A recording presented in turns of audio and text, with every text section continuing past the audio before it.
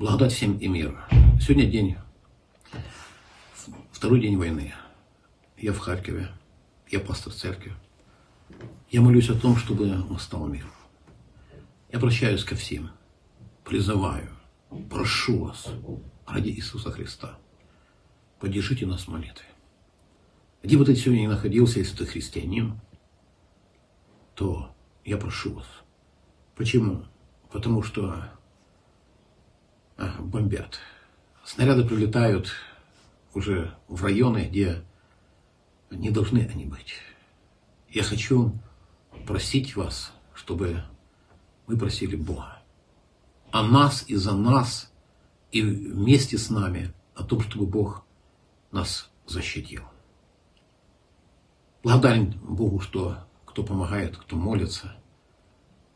Я прошу церковь, чтобы она не унывала, и молилась.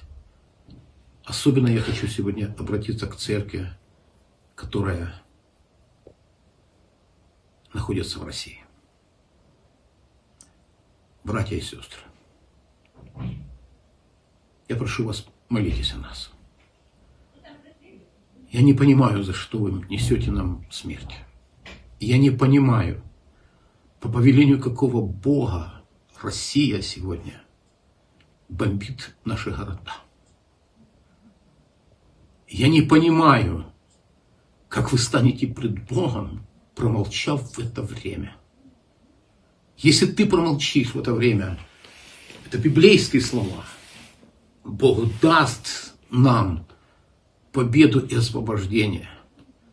Но реально, здесь есть племянники ваши, здесь есть родные ваши. Здесь есть тех, которые вы любите.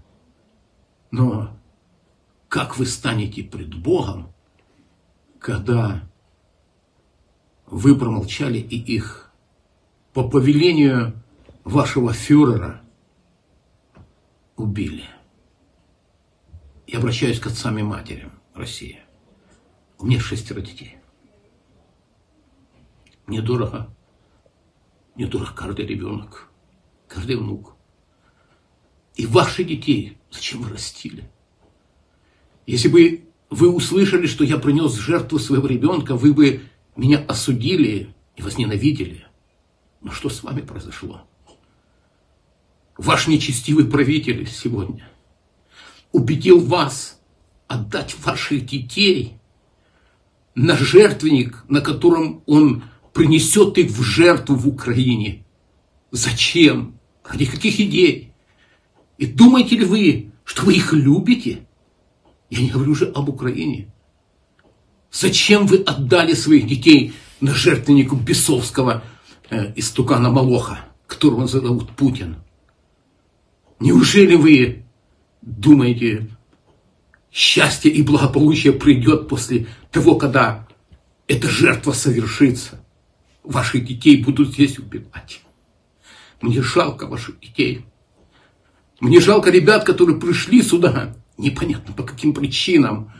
Вы, отцы и матери, в жертву предали своих детей. Вы не любите их. Вы боитесь заступиться за ваших детей. Покайтесь, прошу вас. Нам больно. Мне, как пастору, больно об этом говорить. Но это реалии сегодня, в котором мы живем. Наши дети погибают. Но мы погибаем за то, чтобы быть свободными от истуканов, которые правят вами, от идолов. Да мы совершенные, да мы плохие в ваших глазах, но мы не хотим, чтобы путлеры разные, ваша нечисть правила здесь и посылала наших детей на смерть. Поэтому мы сегодня готовы, чтобы наши дети защищали нашу страну. Мы молимся о армии, мы молимся и плачем за то, что вас убивают здесь. И за своих плачем, и о вас плачем. Остановитесь, я прошу вас. Ради Иисуса Христа. Услышь, мать, услышь, отец, и защити, или твое сердце ожесточилось. Ты сегодня забыл заповедь Божью воспитывать детей своих в наставления Господне. Да я плачу. Я, пастор, плачу пред Богом за вас и за себя. Я плачу.